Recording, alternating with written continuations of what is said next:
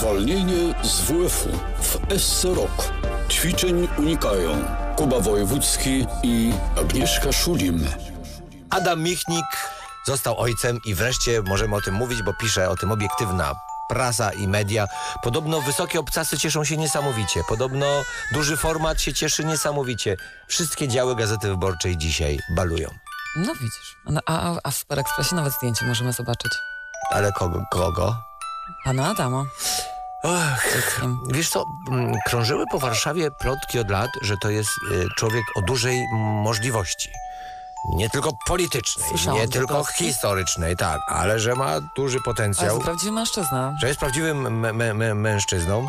Słuchaj, będzie teraz nowa kampania mm, reklamowa Gazety Wyborczej, że Adam Michnik będzie chodził po domach, pukał i będzie mówił, mam gazetę, kupicie czy mam przeczytać.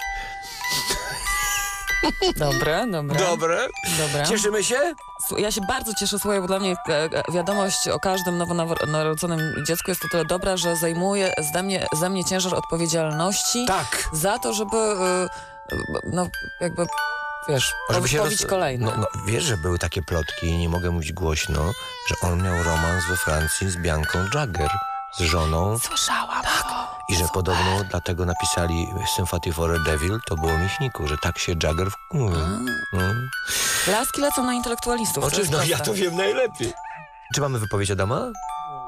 Teraz już mogę. Teraz możemy? Tak śpiewa kołysanki. No miejmy nadzieję, że on nie kocha się tak jak mówi, czyli z prze przerwami.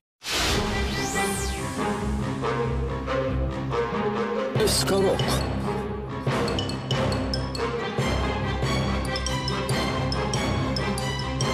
Rok. Zwolnienie z WF-u